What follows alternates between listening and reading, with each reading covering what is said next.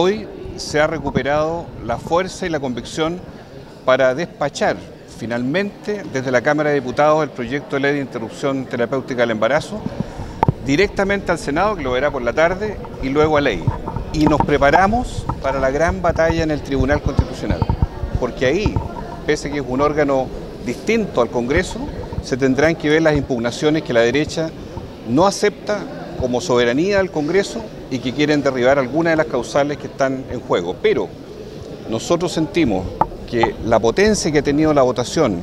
en las dos cámaras hasta ahora y la ratificación por ley hace que le recuperemos por fin un derecho pendiente a las mujeres en nuestro país después de largos años